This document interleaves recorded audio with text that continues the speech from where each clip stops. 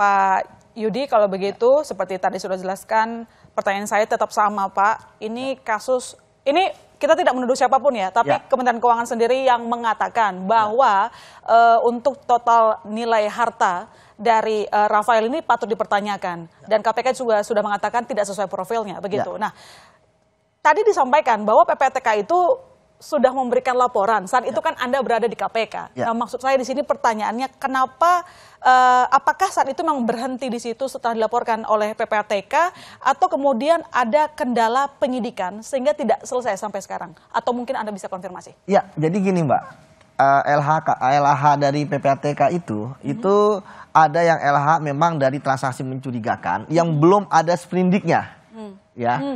Ya, tapi ada juga yang udah ada sprindik. Oke. Ya, misalnya kan saya sebagai penyidik yang menerima LH, kalau udah ada sprindik, itu akan menjadi laporan intelijen ya kepada kita untuk kemudian kita kembangkan.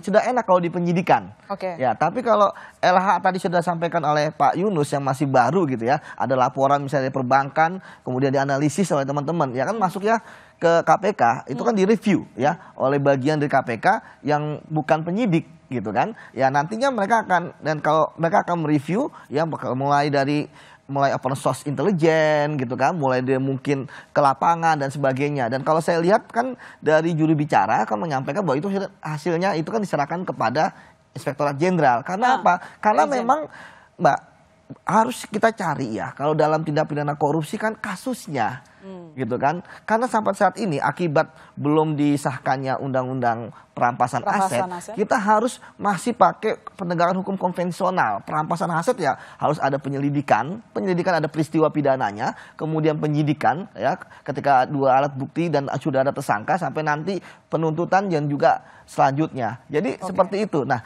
dari sini ya sebenarnya LH PAPTK kemudian dari apa namanya LHKPN ini kan sebenarnya kan saling membantu. Ya. Nah sekarang permasalahannya adalah eh, apakah kasusnya itu cash buildingnya itu yang mana? Makanya kenapa ada kasus yang prof, eh, transaksi yang mencurigakan, kemudian tapi kasusnya itu belum dapat. Ada juga saya mengalami eh, ada laporan PPATK gitu ya, kemudian ada laporan juga kasusnya apa terkait misalnya penyuapan klop gitu kan. Oke. Jadi memang eh, itu yang terjadi dan kita sendiri melihat bahwa LHKPN ini kan sebenarnya dan LHPTK itu kan sebenarnya pintu masuk.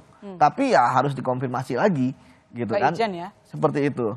Jadi ya saya pikir inilah momentum mbak. Kita kalau kita bicara per case ini, besoknya kalau misalnya permasalahan sistem yang nggak akan diubah, sama pasti besok ada Oke. pejabat punya uang 2 triliun, Baik. ya harus dibuktikan lagi 2 triliun kasusnya yang mana. Seperti Oke, itu. sebelum saya lebih jauh ke sana dan juga tadi mengatakan soal RUU perampasan aset, Pak, berarti eh, ini kita simpulkan sedikit saat itu KPK dan PPATK sudah menyelesaikan tugasnya dan diserahkan ke Itjen Kemenkyu, tetapi Betul. belum ada follow up-nya sama sekali. Jadi Nah, berhenti di situ. Saya nggak paham follow up-nya seperti apa ya. Oke. Seperti itu. Tapi maksudnya udah berhenti kan? Waktu itu tidak ada perkembangan atau bagaimana? Ya, saya nggak paham.